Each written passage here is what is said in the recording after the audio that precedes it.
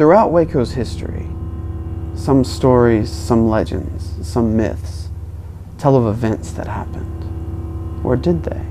Another semi-popular legend at Baylor originated during the mid-20th century, involving music emitted from practice rooms. According to various stories, multiple instruments can be heard playing late at night in the practice rooms of Roxy Hall. However, most of the stories specifically recall hearing the piano more frequently than any other instrument. The origin of the legend remains unknown.